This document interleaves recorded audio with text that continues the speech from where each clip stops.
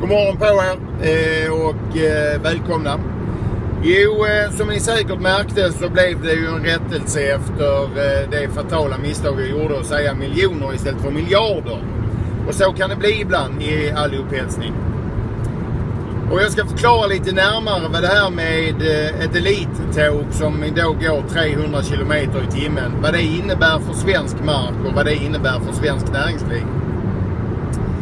Eh, väldigt enkelt. Till att börja med så är det en fruktansvärd kostnad som eh, hade gjort att man skulle kunna bygga ut det ordinarie tågleden betydligt mycket mer.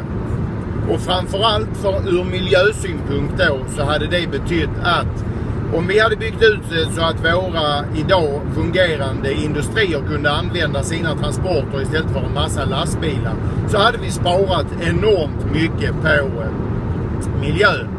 Det är det främsta argumentet jag har för att inte det ska drabba, eller för att det ska gynna så många människor som möjligt på sikt.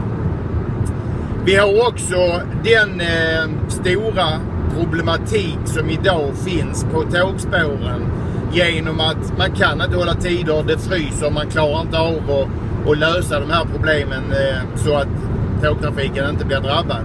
Här kan man lägga pengar istället, såsom eluppvärmda spår och så vidare, för att då få dem frostfria och så att de kan rulla när som helst. Likadant utbyggnaden av ett spår extra skulle kunna gynna så att det blir fler människor, fler stationer som kan bli upprättade och som kan användas. För idag har vi lagt ner så oerhört mycket av de trafik, eh, eller förlåt, de eh, punkter som var tidigare stationer för tågen. Och de skulle kunna väckas upp igen. Både med lokaltåg och de regionala tågen. Allt detta jag pratar om nu blir betydligt billigare än de 230 till 60 miljarderna som det här med snabbtåget skulle kosta. Och då är det bara tre städer som blir upptagna i det. Malmö, Göteborg och Stockholm. Det kan inte vara rimligt att lägga 230 till 260 miljarder på att tre städer ska gå snabbare att åka mellan. När vi har så mycket landsbygd som skulle kunna vara gynnad utav att få en utbyggnad utav tågen. Det var min idé och det är, det är så jag ser på det. Ha det så bra. Sköt om er. Hej hej!